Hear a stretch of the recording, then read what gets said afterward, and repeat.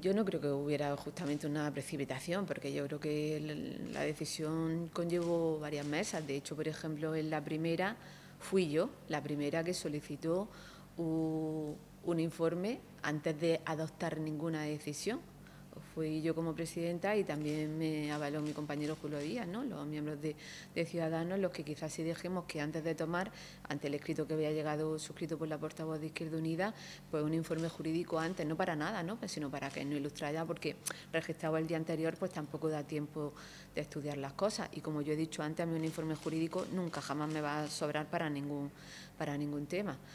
Pero sin embargo, en esa primera mesa, pues el resto de los miembros de, de la misma decidieron que, bueno, que no, que, que, era suficiente y así, en consecuencia, se admitió a trámite ese escrito con las consecuencias, obviamente, que lleva de expulsión.